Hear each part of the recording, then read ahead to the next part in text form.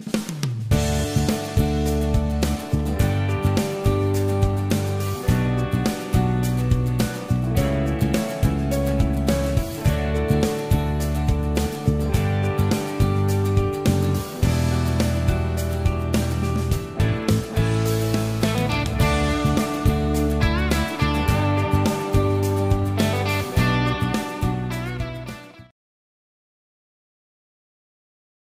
それではインコースより紹介してまいりましょ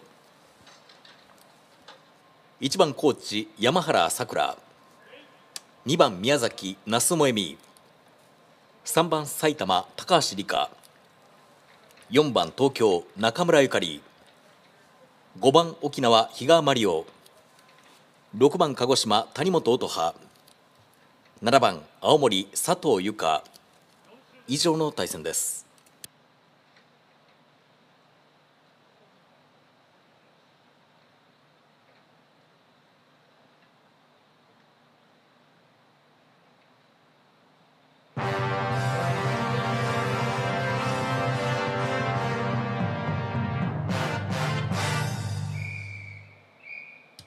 発送いたします。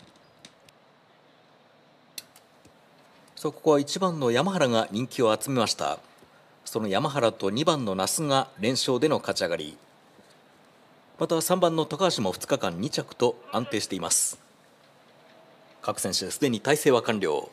第8レース L 級ガールズの決勝です。号砲なりました。さあスタート。様子を見て先に上がりますのは3番の高橋理香。内から2番の那須萌実そのすぐ外4番中村ゆかり。5番の比嘉マリオ4番手1番山原さくら5番手から内を通って4番手。4番中村引きましてその内側から7番の佐藤由香そして6番の谷本音羽1周目バックストレッチ3番の高橋から誘導員を追ってきます。昨日は山原に乗って2着と連帯しました。2番の那須が2番手を走行。2日目は番手の位置から早めに抜け出して1着としています3番手5番の日が予選には山原高橋に続きまして3着の成績4番手に1番の山原今シリーズはまくりで連勝現在14連勝中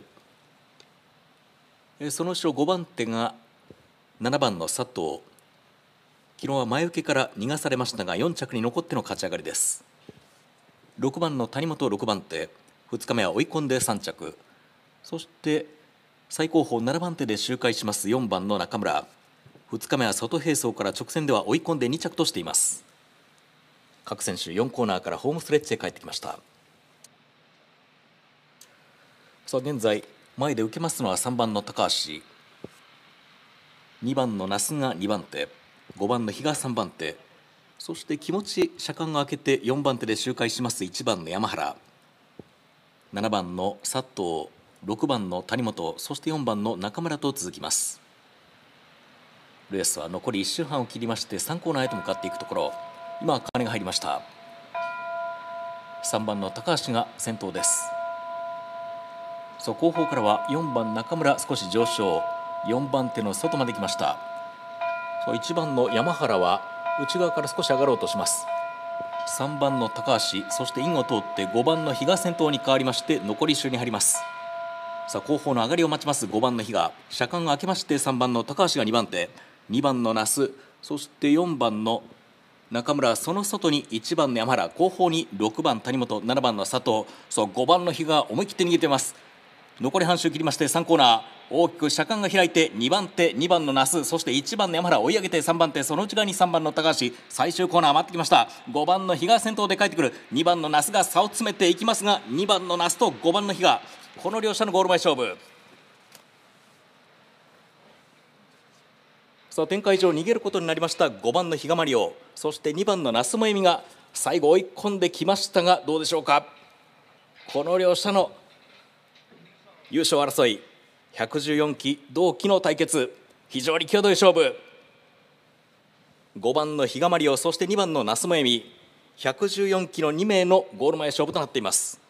1番山原さくらは3着。1着2着は接戦でした。えこの後決定放送ありますまで今しばらくお待ちください。以上第8レースでした。茶番2連勝単式。5番2番。5万3930円。茶番3連勝複式。1番2番5番。1090円。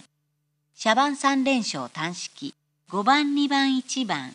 104万。8880円。拡大2連勝複式。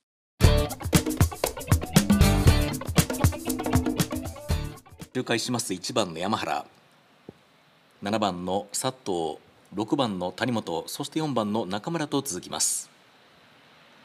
レースは残り1周半を切りまして3コーナーへと向かっていくところ今金が入りまし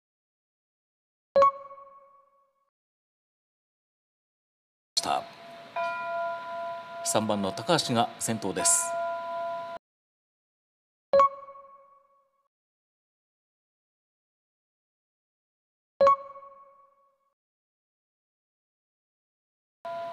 そう後方からは4番中村少し上昇。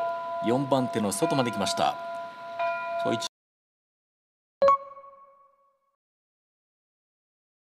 番の山原は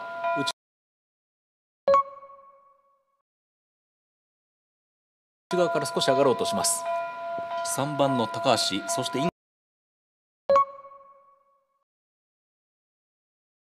を通って5番の比嘉先頭に変わりまして残り周に入ります。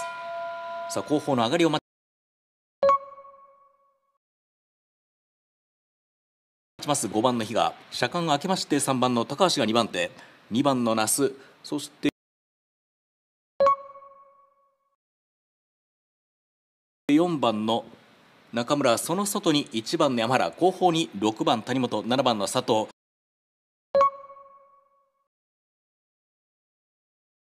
そう5番の比嘉思い切って逃げてます。残り半周切りまして3コーナー。大きく車間が開いて2番手2番の那須そして1番の山原追い上げて3番手その内側に3番の高橋。最終コーナー待ってきました。5番の日が先頭で帰ってくる。2番の那須が差を詰めていきますが